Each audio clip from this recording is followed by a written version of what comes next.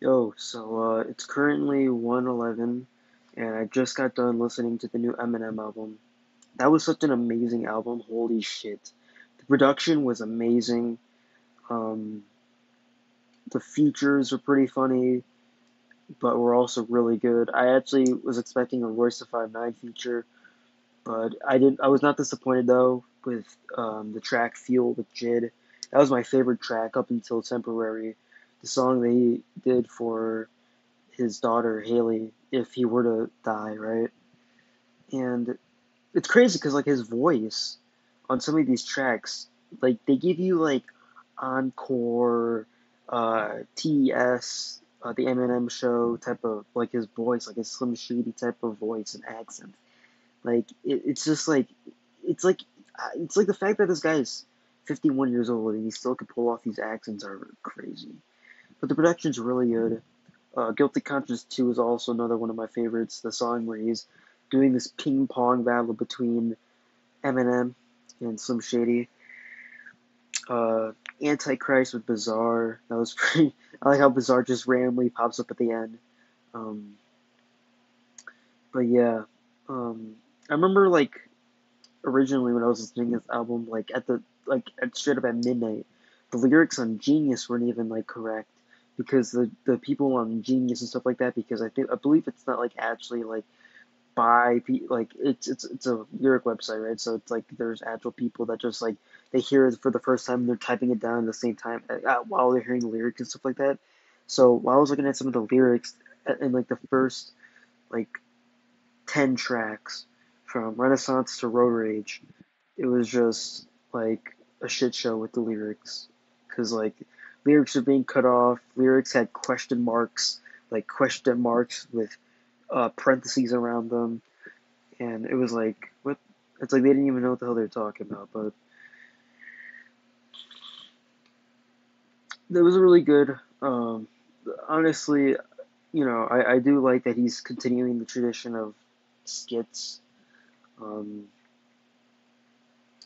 uh, that whole I remember there was this uh, the the song Habits. I I, I catch the uh, D12 fight music sound effect in there which is pretty cool. Um, I know he mentioned a lot of. I know he mentioned Caitlyn Jenner a lot, which is really funny. He mentioned Caitlyn Jenner a lot. Uh, Christopher Reeves is still on Eminem's wordplay. Uh, Ja Rule catched a stray. Um, who else caught a stray? Um, Megan Thee Stallion caught a stray like twice or three times. It was a really good album. This is honestly, I could say this is my favorite Eminem album he's put out since Marshall Mathers LP two. I'm not saying that his last album wasn't bad. His last album was actually pretty good. Not not the not the deluxe version, but the Music to Be Murdered by, like the actual original version that released in January January seventeenth of twenty twenty. That was a really I like that album, but this album I think is better. Fuel, uh, Temporary, um, Road Rage, which I was kind of confused. I thought I, I probably have to re listen to the song and get the message more. But when I was reading the lyrics, he just like the first couple of verses, like the first two verses, were just about like fat people and shit like that. I'm like, what? And then uh, the guy who did uh, Fast Lane did the chorus on that song. Uh, Fast Lane is the song with Eminem and is, is the Bad Meets Evil song with Royce da Five Nine.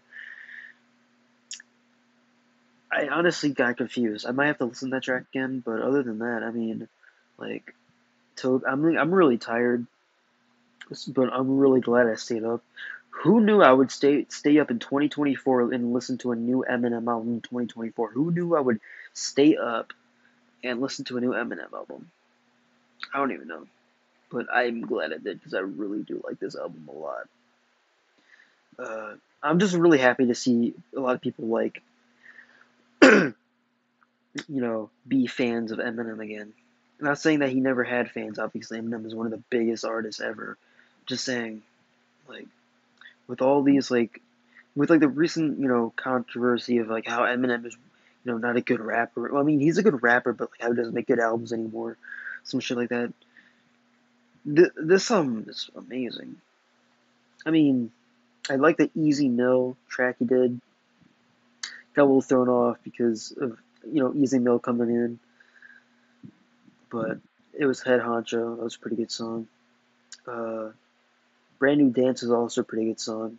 Um, I believe he has a song from Relapse, which is uh, Same Old Dance or something like that.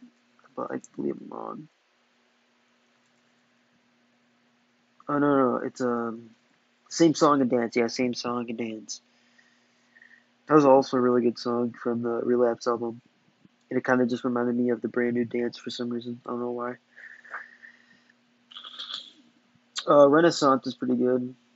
It's really it's the most fitting way ever, because like Eminem just started off the album by saying "fuck blind people." It's like, it's like man, how this is definitely the death of Slim Shady, and he had to make sure the funeral was paid for. And I'm glad he did, because this was a really nice album.